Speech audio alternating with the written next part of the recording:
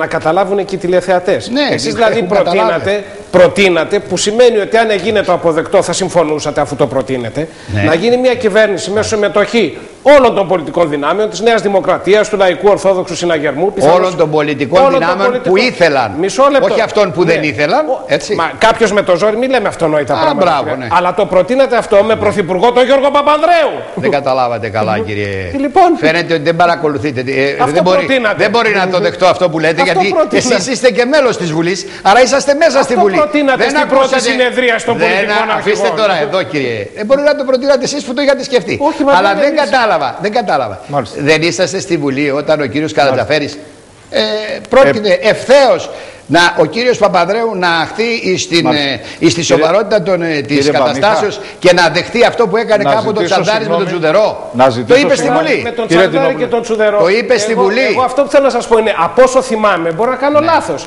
Αλλά από όσο δεν μπορεί να θυμάμαι. μην το θυμάστε. όχι, όχι, όχι. Από όσο θυμάμαι, κατά τη συνη- συ- όταν συνειδήθησαν οι πολιτικοί αρχηγοί Αν προσφάτως έχετε- υπό Ναι, τον ναι. πρόεδρο της Δημοκρατίας, Ναι, ναι. εσείς λέγατε για μια κυβέρνηση Μάλιστα. συνευθύνης. Μάλιστα. Βεβαίω Έχετε την εννοούσατε καλοσύνη. με αρχηγό τον Κύριε Παπανδρέου. Τινόπουλε, Αυτός κύριε σας Πα- πείραξε. Παρακαλώ, δηλαδή παρακαλώ. σας πείραζε ο αρχηγός του Παπαδρέου Μισό μπροστά στο λεπτάκι. συμφέρον του ελληνικού Μια λαού. τελεία. Ποιος θα Μια ήταν αρχηγός, τελεία. έπαιζε Αρκεί- ρόλο. Α, Για το Θεό, κύριε. Αρκεί τελεία. κύριε Σας Παμίκα, παρακαλώ. αρκεί αυτό που λέτε ότι Για το θέλατε Θεό. κυβέρνηση με αρχηγό Για- τον αφήστε τα Παπανδρέου. παρακαλώ. Αυτά Αφού είναι το τέτοια λέτε αυτό δεν πολιτικά, χρειάζεται να πω εγώ κύριε τίποτα. Τινόπουλε, άλλο. κύριε